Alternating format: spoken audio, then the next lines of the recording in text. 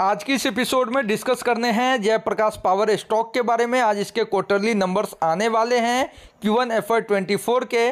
काफ़ी consolidate in down trend form ने इस स्टॉक पिछले कई मंथ में दिखाए हैं, जबकि आर पावर जैसे स्टॉक में काफ़ी तेज़ी दिखा है। इसके ये भी कारण है कि बैलेंस शीट रिलायंस पावर के पॉजिटिव हैं और इस समय ये कंपनी अभी भी लॉस मेकिंग कंपनी है। यहाँ कुछ न्यूज़ जुलाई के हैं। Hydro power restart as floods Ricky recede yet more rain looms जैसे कंटिन्यूस कुछ बड़ी न्यूज़ नहीं है। यहाँ देखेंगे little known penny stock company with R S three share price backs इतना मिलियन वर्थ ऑफ़ एक्सपोर्ट ये सब बिल्कुल कुछ बड़ी न्यूज़ नहीं है। सभी कॉमन न्यूज़ दिख रहे हैं। डिलीवरी तो इसमें बेटर दिख रही है।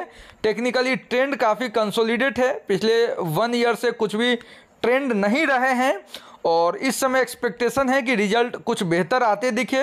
यहाँ वॉल्यूम भी कंसोलिडेट फॉर्म में है और टेक्निकल ट्रेंड देखें तो हायर हाई हायर लो के मेजर रेजिस्टेंस और इसका इस सपोर्ट पे ट्रेंड कर रहा है। यानी एक ट्राइंगल ट्रेंड बनते दिख रहा है और मिनिमम सेवन के ब्रेकआउट के बाद ही बड़े ट्रेंड आप एक्सपेक्ट कर सकते हैं, जहाँ नाइन ट्वेल्व और एटीन तक के टारगेट दिखेंगे। शॉर्ट टर्म ट्रेडर कौशन रहे लॉन्ग टर्म के लिए अगर निवेश कर सकते हैं तो बेटर है, आप पोजीशन बनाए रख सकते